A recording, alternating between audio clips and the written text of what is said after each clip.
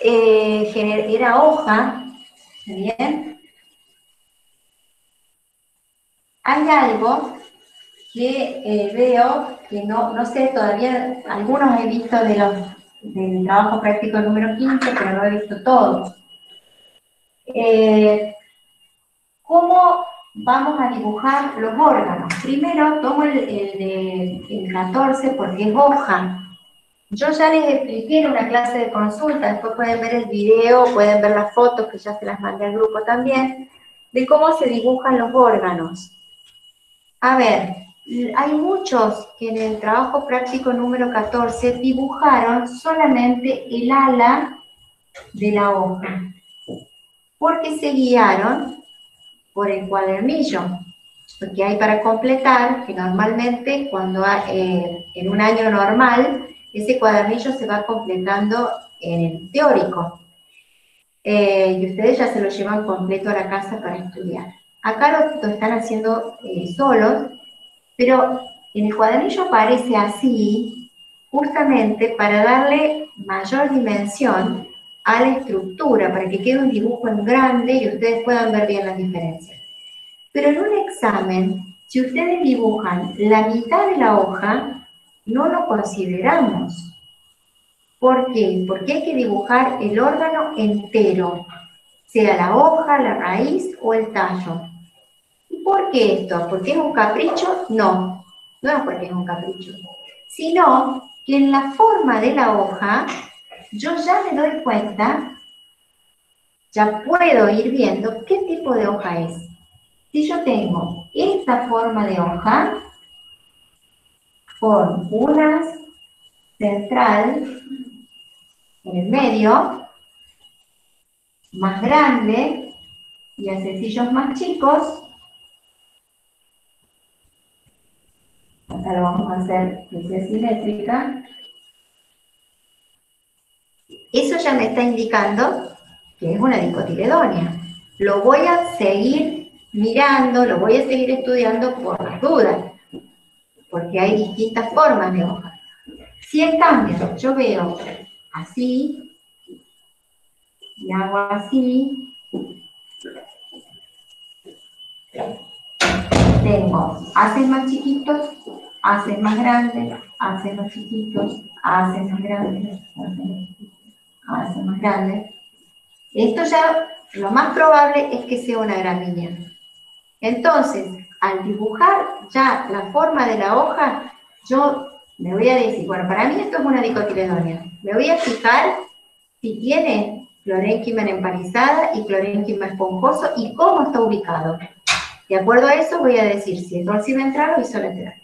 Y esto a mí me da la pauta de que esto, este borde que hace así, es una gramínea. Por lo tanto, yo estaría diciendo o va a ser una festucoide o va a ser una panicoide. Entonces, no dibujen la mitad de la hoja, hay que dibujarla entera. Para que no se haga demasiado tedioso hacerlo con células a todo, voy a utilizar los símbolos de Metcalf. El silema rayado, el floema, ¿está bien? Todo lo que ya hemos hecho para delimitar la cara dorsal, la cara superior, la cara inferior.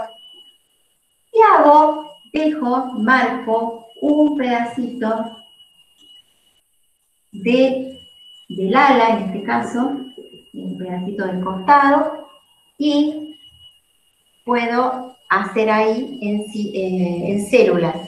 Un pedacito chiquito, que no me lleve tanto, tanto tiempo, porque el examen es largo, los parciales son largos, los finales son largos porque es una materia larga. Entonces hay muchas preguntas, pero ustedes solamente contesten lo que se les pregunta en forma completa y en el caso de los, em, de los esquemas, ahora cuando ya estudien, cuando volvamos, que, se van, que van a tener más tiempo para integrar y para dedicarse, hagan los dibujos, practíquenlo en la casa haciendo los órganos enteros y un pedacito bien hecho en células. Yo ahora, esto yo ya lo dije, ya, lo, ya mandé las fotos y todo, por eso no voy a perder tiempo en volver a hacerlo. Eh, más vale, vamos a, ir a otras cosas. Eh, pero les explico el por qué hace falta que los órganos estén dibujados completos y un pedacito solo en células. Hay algunos que hicieron todo en célula. Imagínense que en un parcial hacen todo en célula, no terminan más. Así, en símbolos, solo un pedacito bien dibujado. Les debo, que lo voy a hacer ahora, porque me estuve viendo las fotos que mandé, y están dibujados todos los tejidos, todos. Está la epidermis, cómo se dibuja en células. Epidermis, todos los tipos de parénquima, en los colénquimas, los tipos de colénquima. Eh, esclerénquima, silema y falta floema. Entonces lo voy a dibujar acá a un costado, después les voy a sacar la foto para que ustedes ya tengan cómo se dibuja el floema.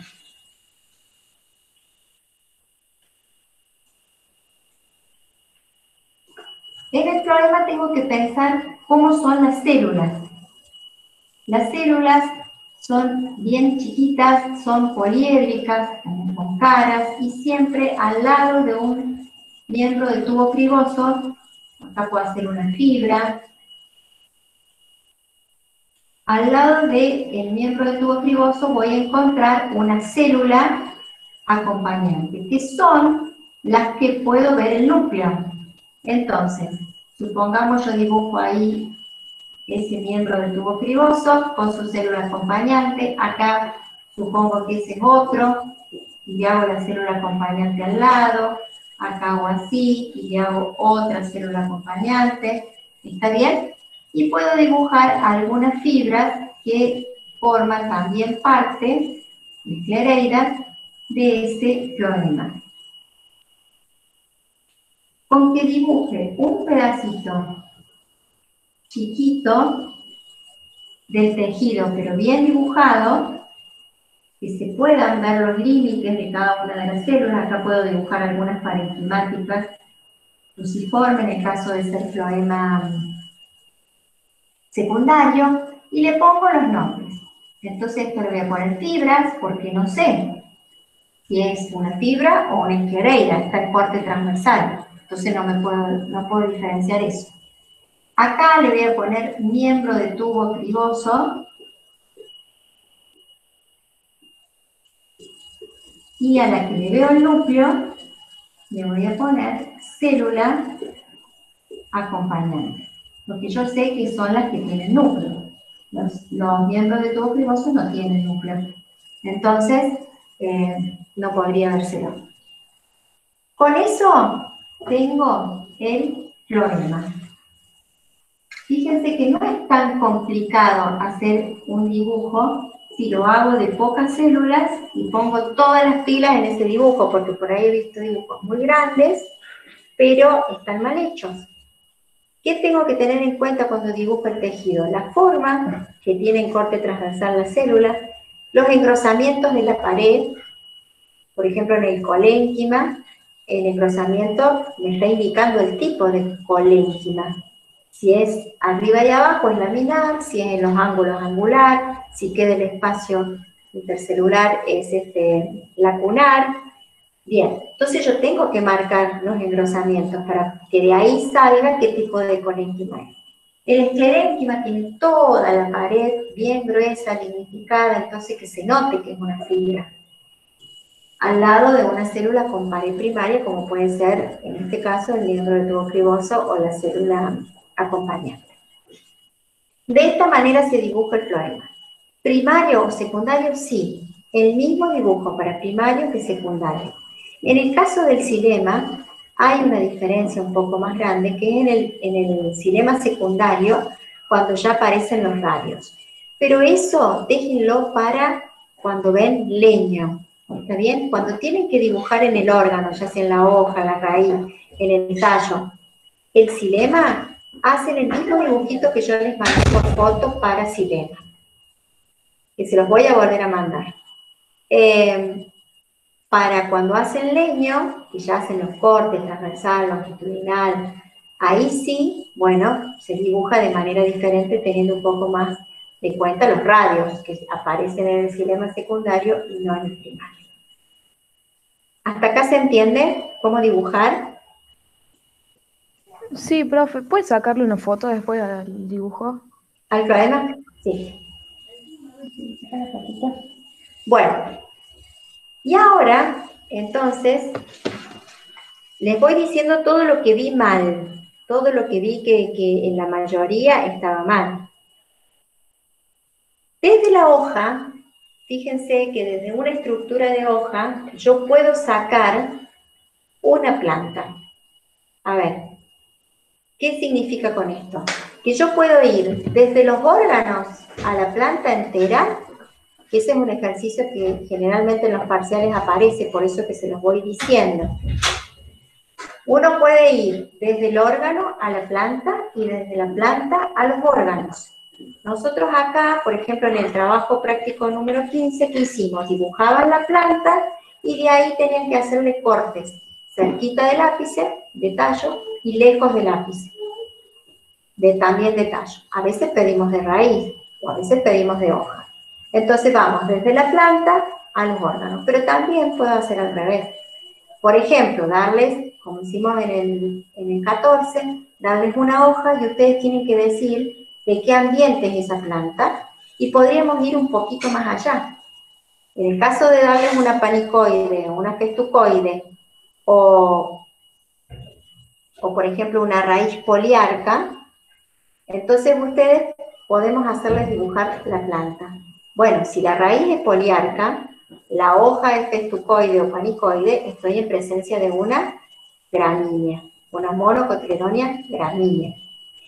Si, por ejemplo, les damos una estructura de hoja dorsiventral y eh, los queremos llevar a que piensen qué planta podría ser, cuando les decimos qué planta podría ser, no es que nos den el nombre de una planta, sino del grupo al cual pertenecería esa planta. Entonces yo puedo decir tranquilamente una dicotiledonia. ¿Está bien?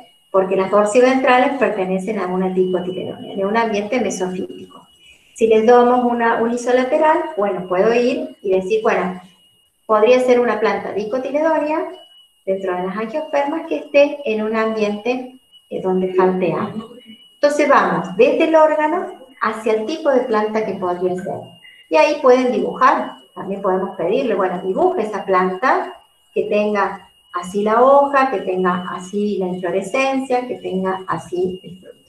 ¿Se dan cuenta cómo tienen que ir ahora estudiando esta materia. Yo lo que intento en este trabajo práctico, en esto que estamos aquí, eh, video, es poder que ustedes entiendan cómo integrar ir y venir, ir y venir, porque ya la materia está toda dada, para que no tengan sorpresas al momento de resolver las consignas, que son bien integradas.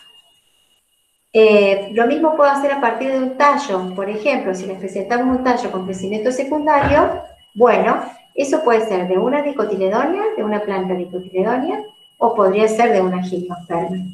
¿De una mono? No, lo sabe.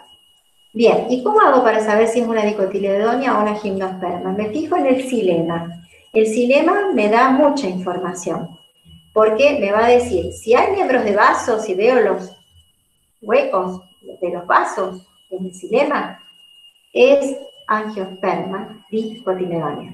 Si veo todo ese leño homogéneo, acuérdense que era homogéneo porque no podía distinguir entre las traqueidas y las fibrotraqueidas que forman el silema secundario de gimno, si veo ese leño homogéneo, eso me está indicando que es una gimnosperma. Entonces yo ya podría irme a cómo, cómo va a ser la hoja, entonces cómo va a ser la raíz secundaria. Determinando el grupo de plantas, yo ya puedo imaginarme varias posibilidades de, eh, plantas, combinando tipos de hojas, tipos de flores, en el caso de las angiospermas, em, tipos de inflorescencias, tipos de semillas, tipos de germinación, y eso es lo que intentábamos con el cuadro que tomamos o que pedimos en el trabajo práctico número 15. Que ustedes les quedara ahí como una pantalla al comparar los tres grandes grupos, dicotiledonia, monocotiledonia y gimnospermas, les quedara una pantalla desde la germinación el tipo de semilla y todos los órganos vegetativos y reproductivos. Y después, a nivel de ciclo biológico, ya la comparación es entre angio y gimno, porque todo lo que es dico y lo que es mono es igual. Entonces, que les quedara la comparación de ciclo biológico, que es lo que nos interesa entre una angio y una gimno. ¿Estamos? Por lo tanto, ¿qué pasó acá? Nicolás Mina. Bien. Por lo tanto, eh, cuando ustedes ya vuelvan corregido el trabajo práctico número 15, eh, de ahí pueden guiarse para estudiar, integrando toda la materia. Todo lo que ustedes ahí lo tienen claro, van repasando y dicen, ah, sí, esto, ah, sí, esto me acuerdo, era esto, esto, esto. Aquello que no, no me acuerdo por qué puse esto, tengo que volver a los teóricos, a los prácticos, porque eso indica que ese tema no está todavía bien masticado. Entonces hay que volver y masticarlo. El tiempo que haga falta. No queda otro. Este es así. Bueno, ¿alguna pregunta hasta acá?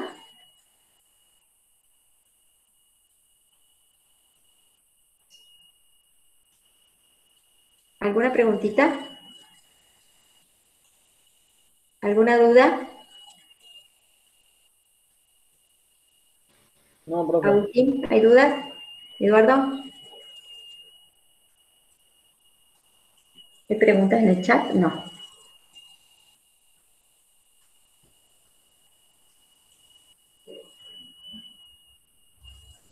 Bueno, si no hay preguntas, entonces una cosita que quería aclararles es eh,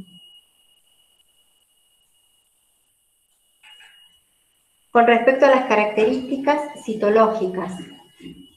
Eh, les voy a mandar un ejemplo de cómo está bien contestada una pregunta o una consigna donde se piden las características citológicas. Eh, porque digo que un 95% no cumplió la consigna. Y yo le pongo completar, completar con las características de cada planta, de cada célula, perdón, completar con las características. Y cuando vuelven a mandar, no vuelve eso corregido. Entonces, lo que voy a hacer es mandarles un ejemplo de cómo sería una respuesta bien hecha. ¿Para qué? Para que cuando ustedes ahora estudien un poco más en profundidad, ya camino al parcial, eh, practiquen eso. Cada tejido ir a el origen, la forma de la célula, si es un tejido simple, si es un tejido complejo, el tipo de pared, el tipo de conexión, la ubicación y la función que tiene. ¿Por qué les digo esto? Mi idea es prepararlo para que lleguen ustedes lo mejor posible al parcial. Y por supuesto al final, pero no porque me interesa que aprueben el parcial y el final, porque me interesa que salgan de morfología con la materia lo mejor que se pueda, sobre todo en estas condiciones en que estamos, está bueno que rinda, todo el esfuerzo que han hecho rinda. Entonces, cuando llegan al parcial, está la pregunta de características citológicas y aparecen dos renglones, el origen y la función. Esa pregunta tiene, supongamos, 10 puntos. Ustedes con eso no sé si llegan a un punto. Y entonces sé que el resto lo saben, que lo han estudiado, que lo han visto. Entonces, ¿por qué no lo escriben? Les da fiaca de escribir completa la pregunta, o la respuesta, mejor dicho. Entonces, tiene que estar completa, no pierdan puntos en el camino si a los temas lo saben. No es lo mismo que yo diga que el floema tiene la función de transportar los fotoasimilados y que es originado por el procambio, el, el, floema primario y el cambio el floema secundario, a decir toda la cantidad de células que tiene y todas las características de. Cuando yo estudio todas las características de cada tejido, puedo entender mejor cómo funciona la planta. Por eso es que me interesan las características citológicas. porque me dan la idea de cómo la planta funciona en su totalidad. Eh, por lo tanto, hay que completar las características citológicas. Repito, voy a mandar un ejemplo de cómo estaría bien contestada esa, esa consigna para que ustedes las tengan en cuenta y en estos días que van a tener después de las vacaciones, eh, completen al que les falte. Bueno, y lo último que me queda aquí eh, por aclararles es el tema del colénquima y del clorénquima. Muchos se confunden, son dos tejidos diferentes, no tiene nada que ver uno con el otro, uno de sostén y el otro eh, es donde se realiza la fotosíntesis. Entonces, colénquima es una cosa, clorénquima es otra. ¿Qué cambia? La ubicación de la L. Pero la ubicación de la L puede hacer desastres porque puede que toda la consigna esté mal contestada o esté bien contestada. Entonces tengo que poner atención si me pide colénquima o clorénquima. Y otra cosa, los tejidos son de alguna manera el clorénquima, el parénquima, el xilema.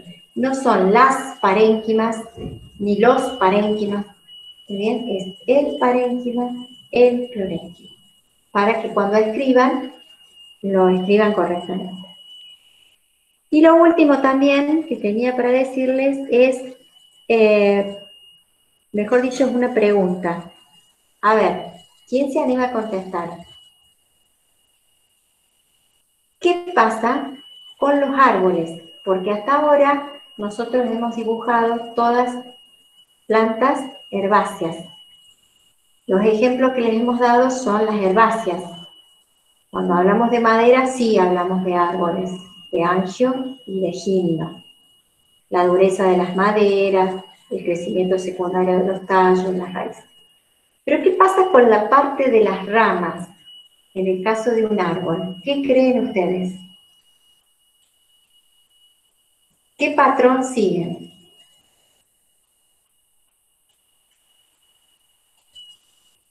¿Hay alguien que me pueda taxis?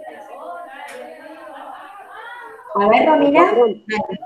¿Con patrón se refiere a protoxilema y metaxilema? No, en cuanto a las ramificaciones, o sea, en un árbol, las ramificaciones. ¿Cómo ah, si es y eso, o... Sí. Simpodial.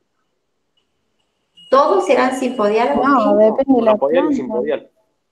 Monopodial y simpodial. Muy bien. Es decir, en los árboles, no se asusten, cuando tengan que, si en algún momento en otras materias tienen que ir y analizar árboles, van a decir, bueno, pero en Morfo no vimos árboles, vimos solamente cortados transversalmente el crecimiento secundario. Las ramas de los árboles, por supuesto que llevan muchos años de modificación y de ramificación, pero en definitiva se van a las ramitas más jóvenes que están en la punta de los árboles y ahí van a encontrar la filotaxis y el sistema de ramificación. Si ustedes ven que las ramas siguen y siguen y siguen creciendo, es monopodial, ¿sí? que es la mayoría de los casos y la filotaxis, la cantidad de hojas que aparecen en cada nudo, que pueden ser alterna, espiralada, dística, dímera, todos los, tipos de filotaxis. Bueno, no vayan a las ramas más viejas, porque ahí ya se ha como desordenado todo, ni que hablar si el árbol ha sido podado. Pero sí me voy a las ramitas del año, o sea, las más jovencitas, y ahí puedo analizarlo lo mismo que una planta herbácea, igual. ¿Está? Eso es lo que quería como para, para terminar, porque bueno, no, hemos visto árboles. Sí. Profe. Sí. Una pregunta, en el caso de la palmera, eh, ah. ¿sería simpodial, no? No. La palmera sigue siendo eh, monopodial. El tema de la palmera es Interesante, Agustín, lo que decís, porque tiene una forma de crecimiento arbórea, es como un árbol, pero la palmera es una monocotiledonia. ¿Sí? Hay normalmente árboles que sean monocotiledóneas? No. ¿Por qué?